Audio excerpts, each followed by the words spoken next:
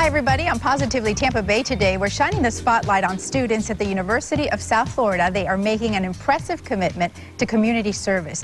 They've created Timmy Global Health at USF, the only chapter in Florida and one of only 17 in the nation.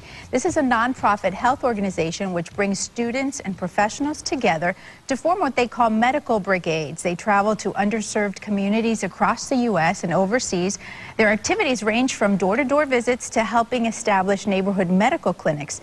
And this coming March, our USF students will be teaming up with students from Purdue University to lead a medical brigade to Ecuador, specifically to the capital city city of Quito. And joining us with more, we have a wonderful, the folks who came up with this wonderful idea, our students from USF. We have Katie, uh, Katie King, and we have Anusha Hakim. And then we also have Mr. Matt McGregor, who is the executive director traveling here from Indiana. Thank you so much for joining us. It's wonderful to be here. We're very proud of our USF students. And so are we.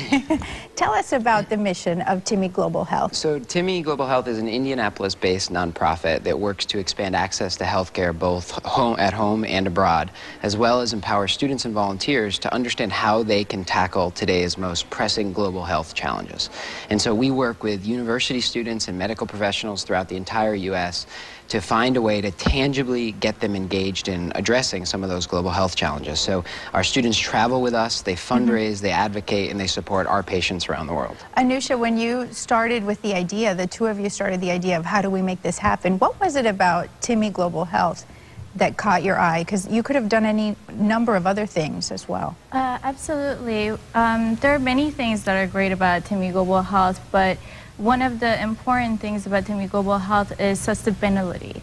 And um, that's, it's so great that um, Timmy Global Health rotates in and out of these clinics and hospitals and communities mm -hmm. and really commits to embracing the community and their needs. It's not just a drive-by health visit. It's they really not. go into we the communities. constantly throughout the year in and out of these communities and have medical brigades.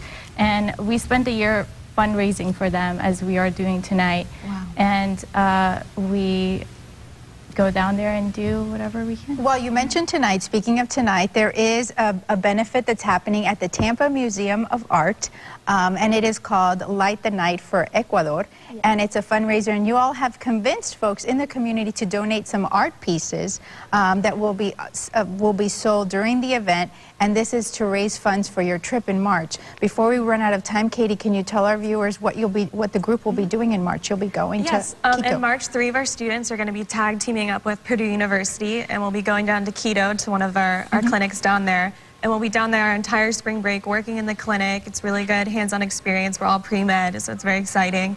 But I mean, one of the biggest things with Timmy is we're just so excited to make these relationships in the community and really, um, really help them out and commit to everything they're doing down there. Well, congratulations to all of you. Very impressive. The idea started with three young women, and now you've got 130 students from USF signed up to participate in this.